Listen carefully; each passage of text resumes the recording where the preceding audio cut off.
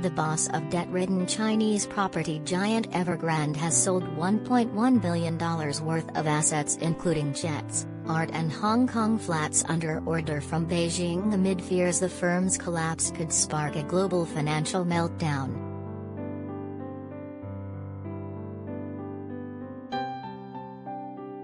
Chinese authorities told the company's chairman Hui Ka-yan, 63, to use some of his personal wealth to help pay bondholders, two separate people with knowledge of the matter told Reuters last month.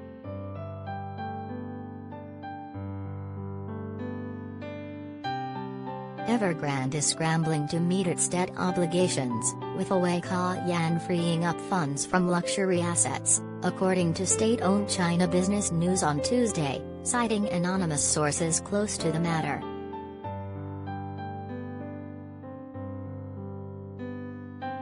Evergrande's troubles in meeting bond repayments have rattled markets and left many of its investors, creditors and suppliers in financial chaos.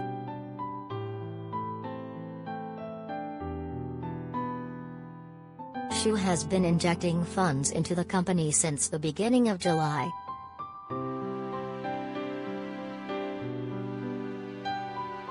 It has been used to maintain the basic operations of his huge business empire, the paper reported, such as paying staff salaries, interest payments and some bonds and cash that is owed to investors in Evergrande's wealth product.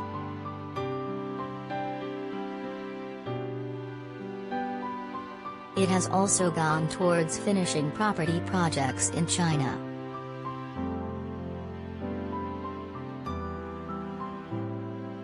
The outlet wrote, so far Xu Jiayin has been personally raising money to continue the life of Evergrande.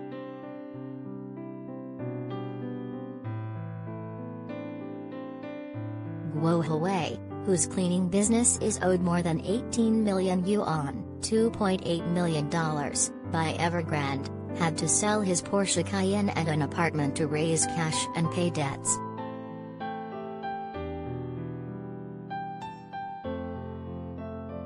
He should be selling his things, Guo told Reuters.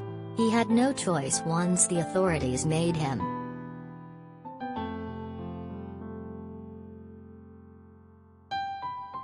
Hui pledged one of his Hong Kong mansions of around 5,000 square feet in the Peak, Hong Kong's most prestigious residential enclave with sweeping views over the city's gleaming skyscrapers, for a loan from China Construction Bank in October, according to a filing with Hong Kong's land registry.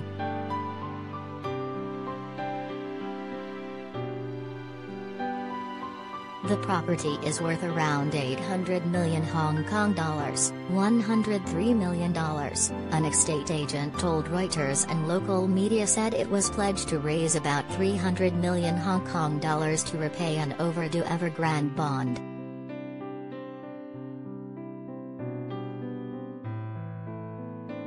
The tycoon, ranked as Asia's wealthiest man in 2017, pledged two other luxury houses in the same development to Oryx Asia Capital Limited on November 8, for undisclosed amounts, according to the land registry. Local media outlet HK01 said on Tuesday the total amount raised was 821 million Hong Kong dollars.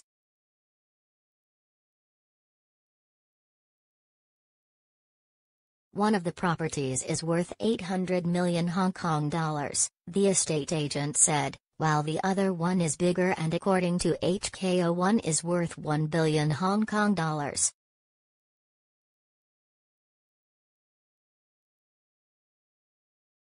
Hui and Evergrande did not respond to requests for comment regarding the properties on the peak.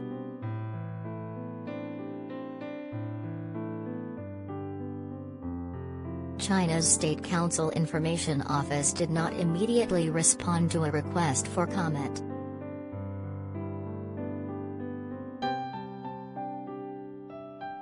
Raised by his grandmother in a rural village, Hui founded Evergrande in 1996 in southern Guangzhou City, supplying low-priced homes and building a fortune.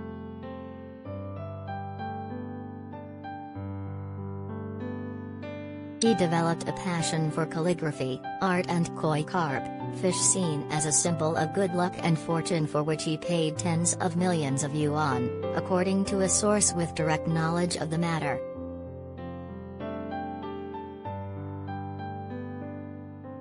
Under WE orders, Evergrande has been selling some art and calligraphy to raise fresh capital, said the source.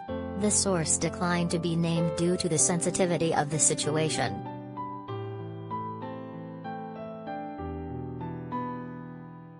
Reuters could not immediately determine how much had been raised by selling the art pieces or what the money has been used for.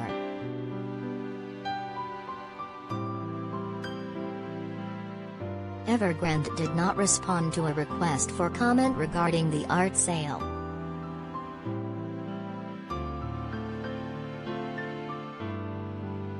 The source also said Evergrande sold two Gulfstream jets in recent weeks.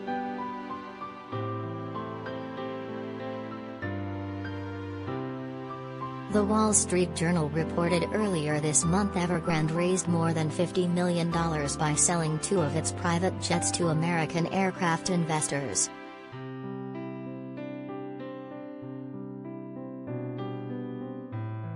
Hui also owns a 60-meter yacht called Devant estimated to be worth $60 million, as well as a private Airbus jet, according to Chinese media reports.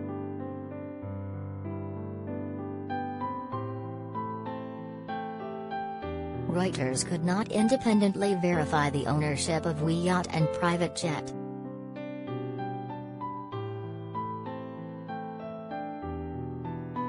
Hui and Evergrande did not respond to requests for comment regarding his aircraft, yacht and other assets.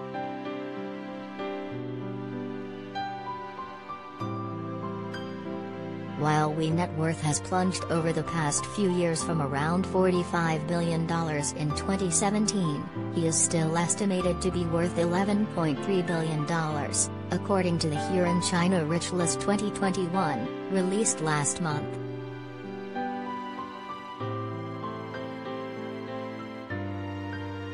But even as he moves to sell some of his personal assets, the proceeds raised pale in comparison to Evergrande's liabilities of more than $300 billion, equivalent roughly to the gross domestic product of South Africa.